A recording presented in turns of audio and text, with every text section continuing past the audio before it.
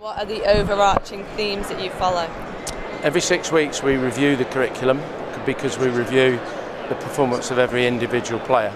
So we review their player performance against their targets in the curriculum and if they uh, need those targets adjusting then the curriculum is adjusted accordingly. So every player has an individual development plan within the overall themes of the, of the curriculum.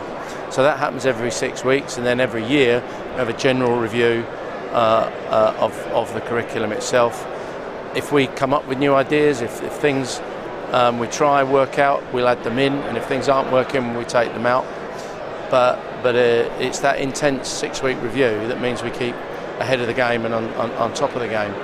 Um, in terms of what what is it, um, it's it's uh, it's a huge curriculum uh, from under six all the way through to the the first team, if you like.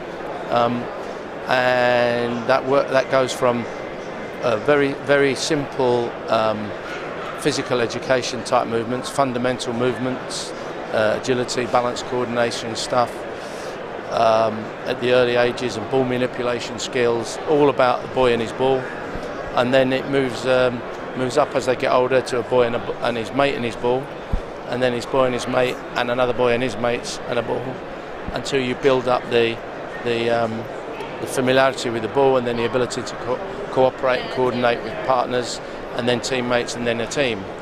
But all the themes around that would be passing, shooting, controlling the ball, turning, running with the ball, dribbling, uh, ball control, uh, as well as the ability to maneuver your body and uh, move into space, recognize space and time. All of those kind of things are built into the curriculum but according to the age and the development level of the player.